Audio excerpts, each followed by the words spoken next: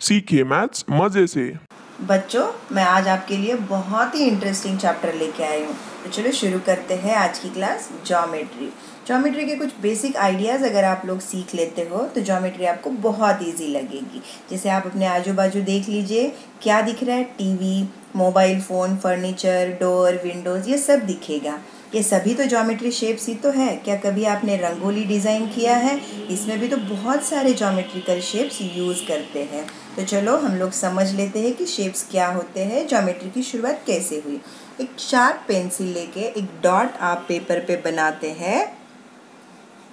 तो डॉट ही आपको पॉइंट की आइडिया देता है। आसमान से जो जो स्टार्स हम लोग देखते हैं, वो भी हमें पॉइंट्स की आइडिया देते हैं। यह पॉइंट ही ज्योमेट्री की शुरुआत जैसे कि इंडिया मैप में दिल्ली को लोकेट करना है, या बताना है कि तेलंगाना के मैप में हैदराबाद को। तो हम लोग पॉइंट से बताते हैं। पॉइंट कैपिटल लेटर से बताया जाता है, जैसे कि पॉइंट ए बी सी यहाँ बताया गया है। अगर इन्हीं पॉइंट्स को हम एक के बाद एक ऐसे लगाएँगे तो हमें एक लाइन सेगमेंट मिलता है, और इसके दो एंड पॉइंट्स होते हैं। अब इसी लाइन सेगमेंट को दोनों तरफ़ से बढ़ाया जाए तो हमें मिलती है लाइन।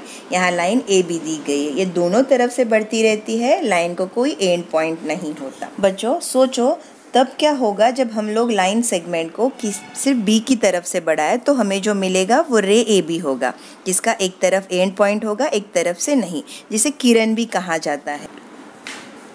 जैसे सूरज की किरणें टॉर्च लाइट से निकलने वाली किरणें। क्या होगा यदि दो रेज एक पॉइंट में मिल जाए, जैसे कि इस पिक्चर में देख सकते हैं।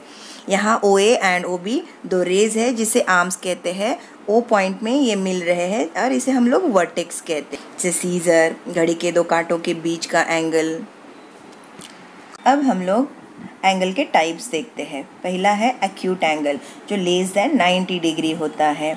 नेक्स्ट राइट एंगल जो कि एग्जैक्ट 90 डिग्री होता है। ऑप्ट्यूस एंगल जो greater than 90 degree less than 180 degree होता है। फोर्थ है स्ट्रेट एंगल जो कि एग्जैक्ट 180 डिग्री होता है। नेक्स्ट रिफ्लेक्स एंगल जो कि greater than 180 degree less than 360 degree full angle exact 360 degree होता है। बच्चों, अगर हम थ्री लाइन सेगमेंट्स को जोड़ देंगे तो हमें ट्रायंगल मिलेगा, जिसके three sides and three angles होते हैं। अब हम लोग इसके टाइप्स देखेंगे। Types of triangles based on angles first होता है एक्यूट एंगल ट्रायंगल जिसमें तीनों एंगल्स जो है 90 डिग्री से छोटे होते हैं। दूसरा है राइट एंगल ट्रायंगल जिसमें एक एंगल राइट एंगल होता है। तीसरा ऑप्ट्यूस एंगल ट्रायंगल जिसमें एक 90 डिग्री से बड़ा होता है। अब देखते हैं types of triangles based on sides यहाँ फ़र्स्ट टाइप आता है इक्विलेटरल जिसमें तीनों साइड्स इक्वल होती है, दूसरा आइसोसलेस जिसमें दो साइड्स इक्वल होती है, और तीसरा स्केलिन ट्रायंगल होता है, जिसमें कोई साइड्स किसी से मैच नहीं, तीनों साइड्स अलग होती है। अगर हम फोर लाइन सेगमेंट्स को जोड़ते हैं तो हमें फिगर मिलेगी वो क्वाड्रिलेटरल होती है। कोई भी चार साइड वाली फिगर को क्वाड्रिलेटरल कहते हैं। उसके बहुत सारे टाइप होते हैं। फ़र्स्ट है रेक्टेंगल जिसमें अपोजिट साइड इक्वल होती है एंगल 90 डिग्री फिर होता है स्क्वायर जिसमें ऑल साइड्स आर इक्वल और एंगल 90 डिग्री होता है।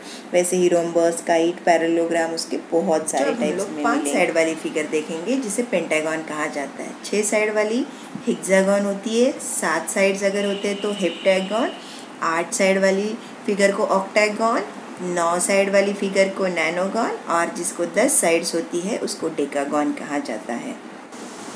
तो है ना ये इंटरेस्टिंग तो अभी तक हमने देखा कि हम जैसे जैसे एक एक लाइन सेगमेंट ऐड करते गए फिगर में हमें दूसरी एक नई फिगर मिलती गई। अभी तक हमने ऐसे शेप्स और फिगर्स देखे जिसकी साइड्स एंड एंगल्स होते हैं। अब हम लोग ऐसी फिगर देखेंगे जिसकी ना ही कोई साइड है और ना ही कोई एंगल है। गेस करो।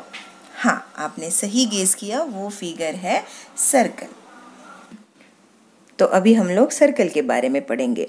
एक बैंगल लेके आप पेपर पे ड्रॉ करते हो तो वो बनता है सर्कल। हमारे घर में ही कितने सारे एग्जांपल्स मिलेंगे। मम्मी की गोल गोल रोटी का शेप प्लेट का शेप पापा की घड़ी का डायल का शेप दीदी की बैंगल्स, भैया की बाइक का, टायर का शेप, ये सब सर्कल ही तो है।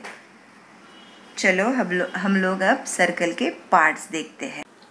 सेंटर ऑफ़ अ सर्कल, उसके बाद radius of a circle, diameter of a circle, then उस सरकमफरेंस ऑफ़ अ सर्कल और उसके बाद आता है कॉर्ड ऑफ़ अ सर्कल तो बच्चों, कैसी लगी आपको बेसिक ज्योमेट्री लास्ट में मैं आपको एक इंपॉर्टेंट बात बताती हूँ।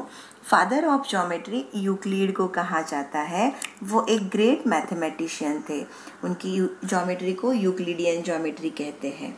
तो आपको मेरा वीडियो पसंद आया होगा। आप उसको ज़रूर शेयर करिए।